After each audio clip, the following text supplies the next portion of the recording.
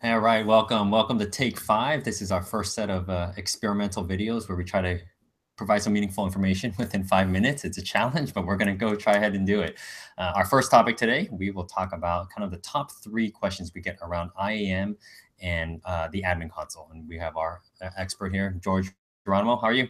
Doing okay, Jonathan. All Thanks. right, we got five minutes. Let's All go. right, let's do it. Yeah. So I think you're going to walk us through the console, kind of some things that you get commonly asked. I know for me, you know, quotas is number, you know, one of the big ones.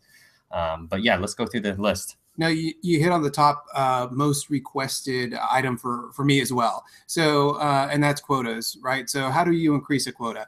Um, many people will recognize uh, what I'm sharing here, right? It's just the dashboard. Um, so, to find the quotas, it's actually really easy. You can do this a number of ways. You can uh, use the selector and go into IAM and admin, which is uh, identity access management and admin, and go to uh, quotas. Uh, or I'll, as an alternative, you can just type it in here, right? Quotas. And um, you have all the different compute engine and um, app engine and every other quota that you have under the sun, right? But uh, really, for all quotas, you can just select the all quota there. And that gets you the same endpoint, right? IAM an admin quotas.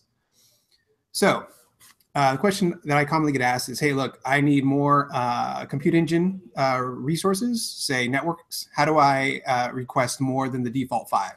So in this all quota page, uh, what you do is you find your, the quota that you're looking for or the service that you're looking for, check the box, and then you go to edit quotas. What you'll see is that on the right, then a um, little pop-up will show up, right? Or the window will slide open, enter in your phone number, right? 408 555 1212. And then, or your, your uh, number, right?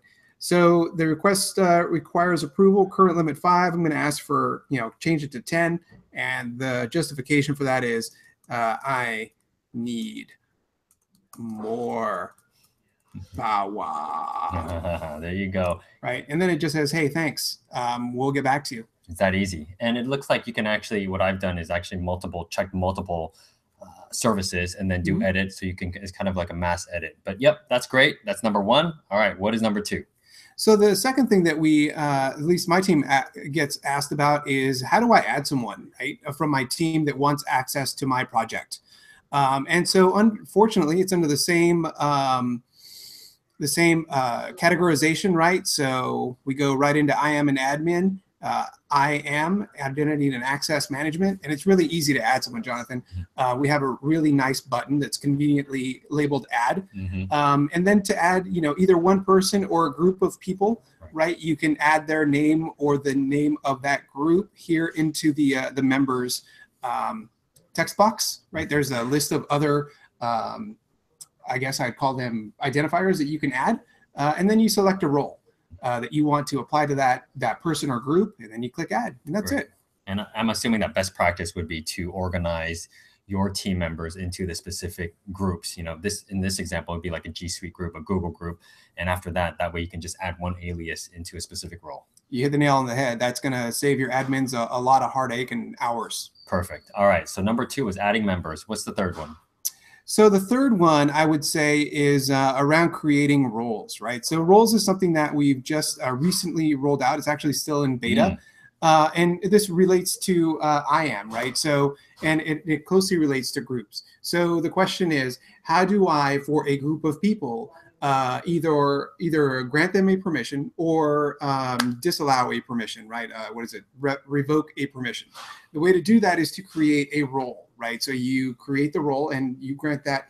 The role is kind of like a container, and you grant that container certain permissions or don't grant it cer- certain permissions uh, based upon how you want to custom tailor that.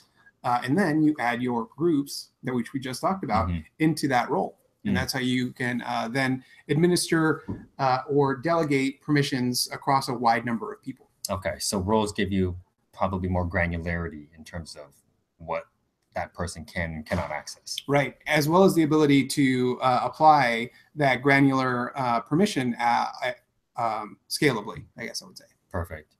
Well, George, thank you so much for your top three, you know, IAM and admin uh, questions. no problem Anything else you want to say? no i think that's going to wrap it up for this afternoon All right. thanks for having me Yes, I think that was under five minutes. Thank you.